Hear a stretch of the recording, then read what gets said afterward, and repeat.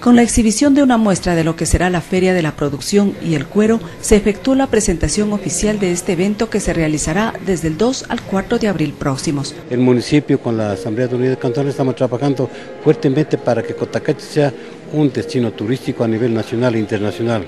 Hasta el rancho Santa Fe se dieron cita autoridades e invitados especiales donde se recordó la historia que encierra la industria del cuero en Cotacachi. Gracias al proceso de participación ciudadana a través de la Cantonal y el municipio de Cotacachi, se efectuó la primera feria en el año 2005, fruto de lo cual logramos posicionar la calidad y el diseño de nuestros productos, así como establecer contactos con grandes cadenas a nivel nacional en esta edición se retoma el carácter productivo del evento para incluir a todos en esta propuesta. Esta feria ya se volvió, volvió a retomar también el tema de producción, porque antes era solamente feria del cuero y de pronto invisibilizaba un poco el resto que produce Cotacachi. Entonces, al retomar el, tema, el tema de producción, se estaría también tomando en cuenta lo que es la producción.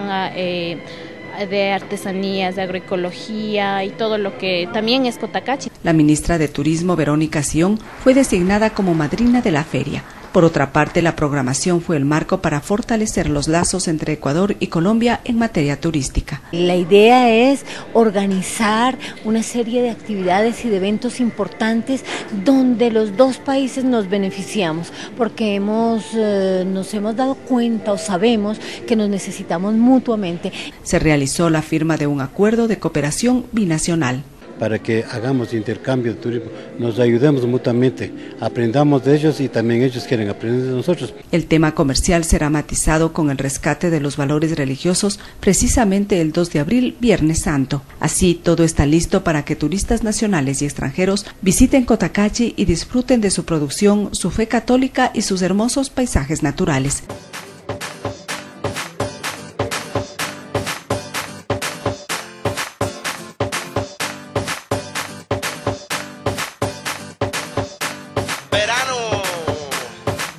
El verano es azul. No matter where you are. En el Caribe, en Europa. Porque el verano es azul. Nancy Valdivieso, Prisma Informativo. She's moving like a rockstar.